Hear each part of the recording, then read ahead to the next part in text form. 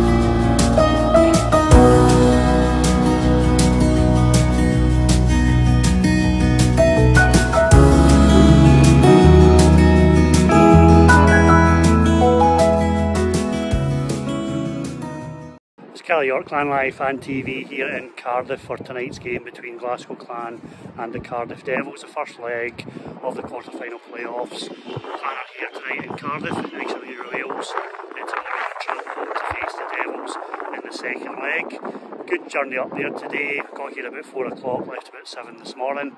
A stop on the way, so credit to Adam, he's driving as always, and always good banter and singing and good humour on the bus uh, from the OSC folk and it's great to be part of that. So yeah, what's your thoughts on tonight's game? I can see quite a close game tonight. I think, um, we'll be playing over six periods, so there's no really a rush to go ahead and try and do too much today. We just want to keep in the game. I think we're good enough to get a draw uh, in this game tonight. I think we can keep it close. If St Starrett's on form, we can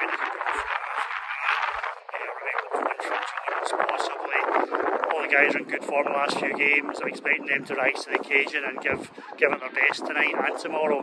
So I'm predicting a 2-2 draw tonight. Let's see how it pans out. Catch you later at Ice Arena Wales.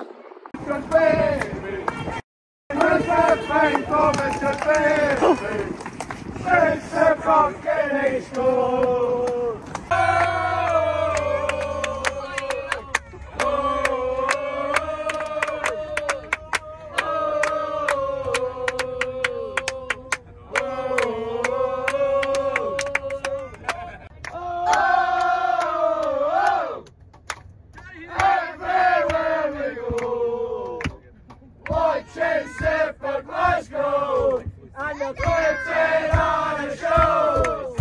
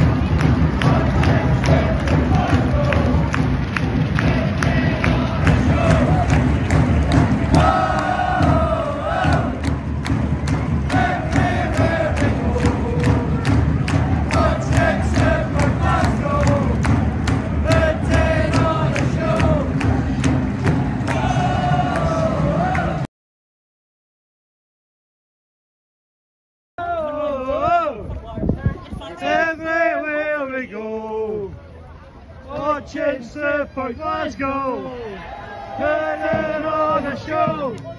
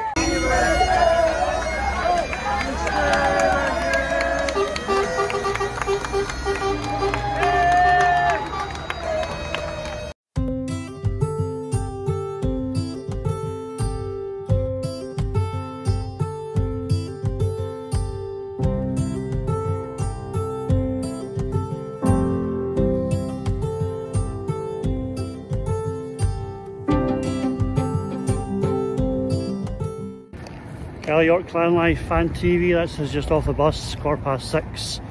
It's been a 24 hour trip. Good win in Cardiff today, 4-3. But we're back here for 12 hours to, for the second leg. Hopefully Clan can do enough to get through. See how it goes. It's going to be a tough game, but fingers crossed. I think we can do it. We'll catch up with you later. Let's go, let's go!